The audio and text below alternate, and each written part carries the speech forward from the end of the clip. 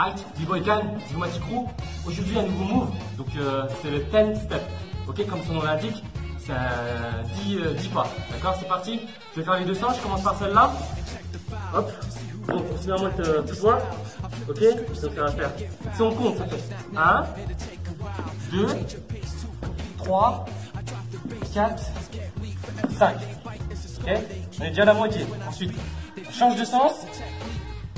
6, 7, 8, 9, 10. Ok Je refais encore un petit fois.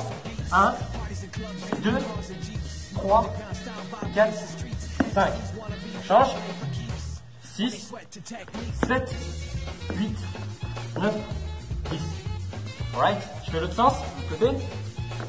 1, 2, 3, 4, 5. Change. 6, 7, 8, 9 et 10.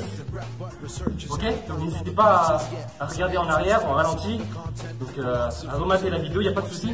Donc le but, c'est de mettre dans vos enchaînements, dans un go down. Donc là, je vais faire un peu plus rapide, dans un, go down, on va dire. Ok C'est parti